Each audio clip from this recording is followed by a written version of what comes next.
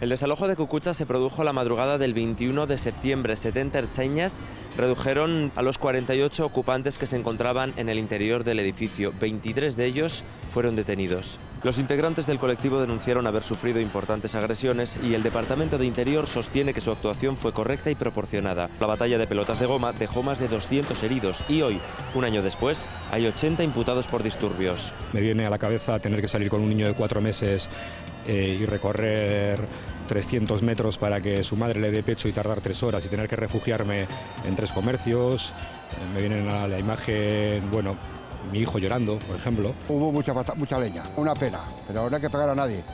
Pero tampoco es hacerse apropiarse de lo que no es de uno. Unos a un lado, batalla campal, ¿no? Buenos a un lado, manos al otro, ¿no? Como dicen, y así fue.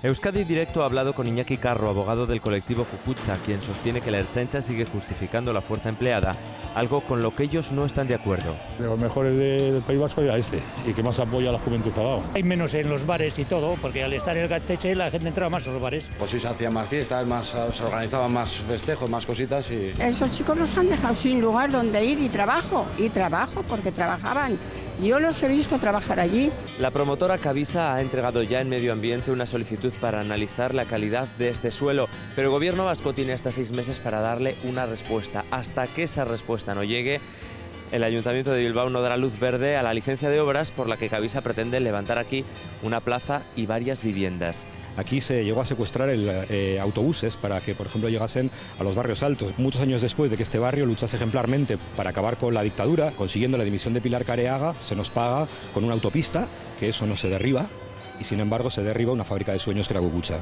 Los alrededor de 600 contenedores que quedaron quemados e inutilizados costaron a las arcas municipales 150.000 euros. Como consecuencia de estos altercados, 85 personas fueron detenidas.